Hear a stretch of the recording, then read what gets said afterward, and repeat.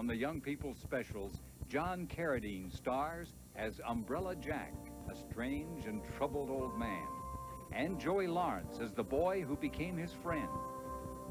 Haunted by memories of the war and tormented by the town's children, Umbrella Jack faces a moment of decision when his only friend faces death on a railroad trestle. Don't miss this poignant story of the struggle to understand the mystery of Umbrella Jack.